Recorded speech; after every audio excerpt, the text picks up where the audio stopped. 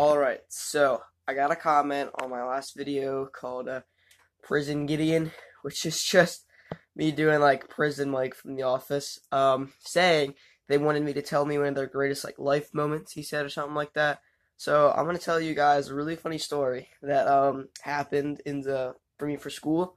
This was a, a good bit back, maybe like a couple years, three maybe, I don't know, something like that.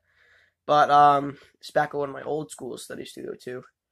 Um, but basically, the teacher was hyping us up, like we're gonna get something new in the classroom or something like that. And it came in a really big box, so we're all like, "What is it?" And I'm pretty sure it was just a table, and we were like so bummed, right?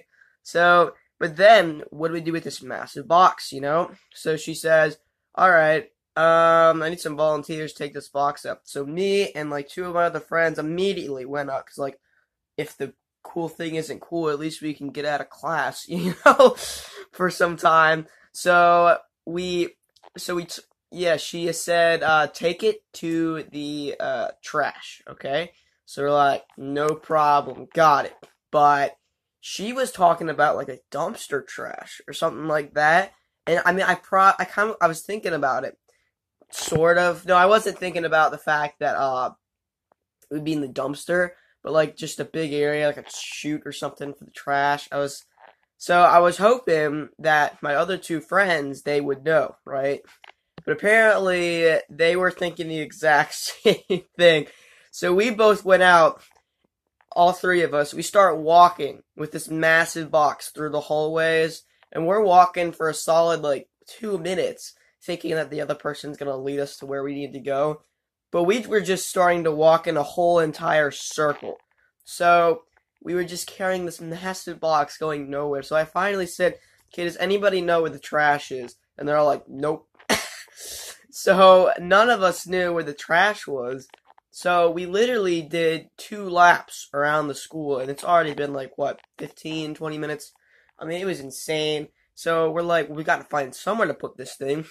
So in the corner of my eye when I'm walking by something, I see this like tiny, like not tiny, tiny, but like just a trash can in the middle of nowhere, like the, the, the dark alley of the school. You know what I'm saying?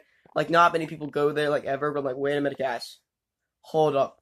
So he managed to cram the box in the room, put it on top of trash cans here. We put it on top of it, like horizontally. So he like balanced it, right? And then my friend, he always carried like a pen and like sticky notes or paper with him. So we put a note on the massive box saying, what did we say? Oh, hold up. If anybody knows where the big trash is, please put the this box in there is what we said. That was on a sticky note. And oh my goodness, it was so funny because literally here's what happened. Like we we we were wondering has has the box been moved yet? And this was like three weeks later, or maybe it's just two weeks later. So we walked down there, me and my friends. The box is still there, and we're like, ah, what? So I think it finally got took out within the month, barely. I guess they go like every month or something. But like, it was ridiculous. And no one ever confronted us about this. No one. I guess our teacher never found out about it. Like, the person who put it in the actual trash never told her or something. Oh man, it was so funny though. We didn't sign the note. I would I wouldn't sign that note. And my other friends didn't have the audacity either. So we didn't sign it. We just said that.